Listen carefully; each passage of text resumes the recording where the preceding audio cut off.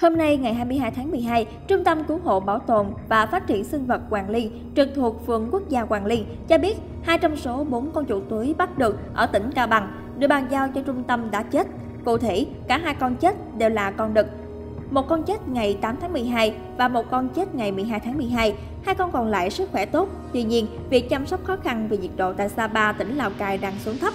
Cũng theo Trung tâm Cứu hộ Bảo tồn và Phát triển sinh vật Hoàng Liên, hai con chuột túi bị chết khi được tiếp nhận từ hạt kiểm lâm, huyện Thạch An, thuộc chi cục kiểm lâm tỉnh Cao Bằng đã có biểu hiện stress nhẹ, nguy cơ ủ bệnh từ trước. Trong thời gian cách ly, hai cá thể có các biểu hiện phát bệnh như mệt mỏi, thở khò khè, có dấu hiệu bị bệnh đường hô hấp. Trung tâm đã điều trị nhưng bệnh không giảm.